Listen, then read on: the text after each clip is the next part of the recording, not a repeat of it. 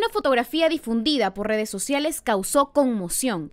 En ella se observa reunidos a César Acuña y al ex secretario general de Fuerza Popular, Joaquín Ramírez, en un restaurante en Miraflores. Se especuló que la reunión tenía fines políticos. Sin embargo, el congresista Richard Acuña declaró que el encuentro fue motivado por su gran amistad y que no existe ningún interés en los partidos por crear una alianza política para las siguientes elecciones. ha sido una reunión entre amigos, un desayuno entre un amigo de, años, entre Joaquín Ramírez, cajamarquino al igual que mi padre, ambos dirigentes deportivos además.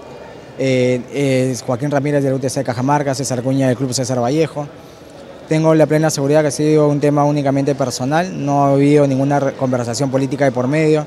Fuerza Popular tiene su propia línea, Alianza para el Progreso también.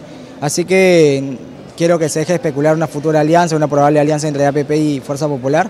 Cada uno tiene su propia línea, seremos rivales políticos en las próximas elecciones y me imagino que también en el año 2021.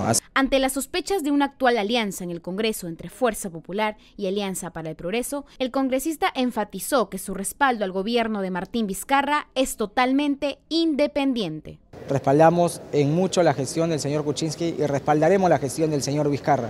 No nos interesan los enfrentamientos políticos entre el Ejecutivo y el Legislativo.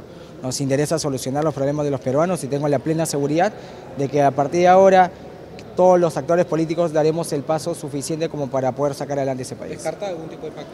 Totalmente descartado. Fuerza Popular con Alianza para el Progreso pueden estar juntos acá en el Parlamento, pero revueltos no estaremos. Cari Saldaña, Noticias en Digital.